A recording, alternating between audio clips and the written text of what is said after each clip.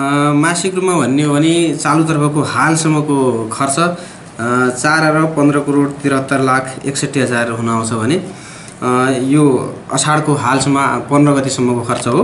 र फागुन महिनासम्म जुन खर्च थियो त्यो एक अरब उनासी करोड अठहत्तर लाख थियो भने चैत्रमा तेत्तिस करोड तेह्र लाख एकसट्ठी हजार वैशाखमा अडतिस करोड छ्यासट्ठी हजार जेठमा एक अरब चौध करोड पैँतिस लाख उन्नाइस हजार असाढमा पचास करोड छयालिस हजार पचास करोड छयालिस हजार।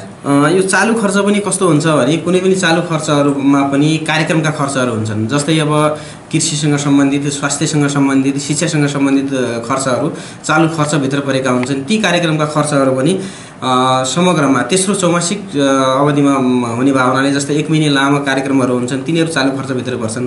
यसका कारणले यो खर्चहरूको वृद्धि हुँदै गएको देखिन्छ।